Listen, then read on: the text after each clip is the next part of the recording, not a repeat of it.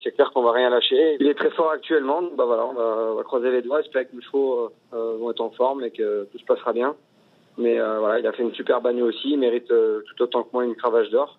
Il est tenace, il lâche rien, c'est un battant et euh, ça tombe bien, j'en suis un aussi, donc euh, on va se battre jusqu'au bout pour essayer de, de garder le titre. Mais euh, voilà, on, sait que ça va être euh, difficile, il a encore quelques gagnants d'avance, mais euh, voilà, on va on va se battre, on est là pour ça. En tout cas, c'est une belle année qui, qui finira, je l'espère, euh, au mieux. Mais euh, voilà, même si on, on l'a pas, on, sait qu'on aura tout mis de notre côté euh, ces derniers jours pour, euh, essayer de remporter une, huitième cravache d'or.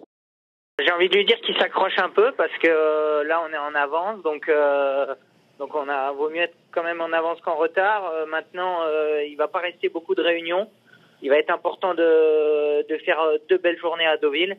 Donc j'espère pour ma part qu'on qu'on va moissonner pas mal de gagnants et il va falloir qu'il qu'il avance parce que euh, lui il va falloir quand même qu'il ait quelques gagnants en plus par rapport à moi sur euh, sur une durée de, course de deux jours qui est assez euh, serré.